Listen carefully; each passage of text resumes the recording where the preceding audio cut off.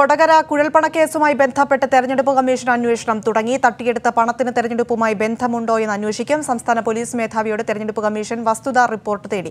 മഞ്ചേശ്വരത്ത് സുന്ദരിയുടെ പരാതിയിലും C K ജാനുവിന് പണം നൽകിയെന്ന ആരോപണത്തിലും അന്വേഷണം നടത്തും. റിപ്പോർട്ട് ലഭിച്ച ശേഷമാകും നടപടി. വിശദാംശങ്ങളുമായി തിരുവനന്തപുരത്ത് നിന്നും റിനു ശ്രീധർ ചേരുന്നുണ്ട്. റിനു ഈ കൊടകര കുഴൽപ്പണ കേസുമായി ബന്ധപ്പെട്ട തെരഞ്ഞെടുപ്പ് കമ്മീഷന്റെ അന്വേഷണം തുടങ്ങിയിരിക്കുന്നു. ഇത് ഏത് രീതിയിൽ മുൻപോട്ട് കൊണ്ടുപോകുമെന്നാണ് മനസ്സിലാകുന്നത് പ്രിയ തെരഞ്ഞെടുപ്പ് കമ്മീഷനും കൊടകര കുഴൽപ്പിണ കേസിൽ അന്വേഷണം ആരംഭിച്ചു എന്നുള്ള വിവരമാണ് നമുക്ക് ഇപ്പോൾ നൽകാൻ കഴിയുക.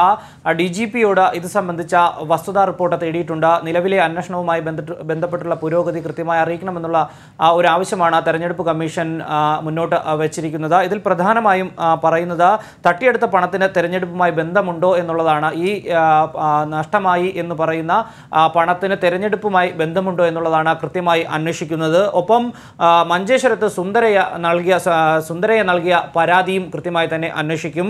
അതുപോലെ തന്നെ സി കെ ജാനുവിന് പണം നൽകിയെന്ന ഒരു ആരോപണം ഉയർന്നിരുന്നു. ഈ ആരോപണവും അന്വേഷിക്കും എന്നുള്ളതാണ് തെരഞ്ഞെടുപ്പ് കമ്മീഷനിൽ നിന്ന് ലഭ്യമാകുന്ന വിവരം. ഇത് ആവശ്യപ്പെട്ടുകൊണ്ടാണ് അല്ലെങ്കിൽ ഇതിന്റെ വിവരങ്ങൾ ആവശ്യപ്പെട്ടുകൊണ്ടാണ് തെരഞ്ഞെടുപ്പ് കമ്മീഷൻ പോലീസിനോട് ഡി ജി പിയോട് ഇതിന്റെ ഒരു വസ്തുതാ റിപ്പോർട്ട് തേടിയിരിക്കുന്നത്. ഈ വസ്തുതാ റിപ്പോർട്ട് ലഭിച്ചതിന് ശേഷമായിരിക്കും തുടർ നടപടികൾ തീരുമാനിക്കുക. എന്തായാലും ബി ജെ പിക്കെതിരെ ഇപ്പോൾ പോലീസ് അന്വേഷിക്കുന്നുണ്ട്. ബി ജെ പിയുടെ മുതിർന്ന നേതാക്കൾ ഉൾപ്പെടുന്ന ഒരു കേസാണ് ഇതെന്നുള്ളതാണ്. തെരഞ്ഞെടുപ്പ് കമ്മീഷൻ കൂടി ഇത്തരത്തിലുള്ള ഒരു അന്വേഷണം മുന്നോട്ട് വയ്ക്കുമ്പോൾ വലിയ ഒരു കുരുക്കിലേക്ക് ബി പോകുന്നു എന്ന് തന്നെ നമുക്ക് പറയാം.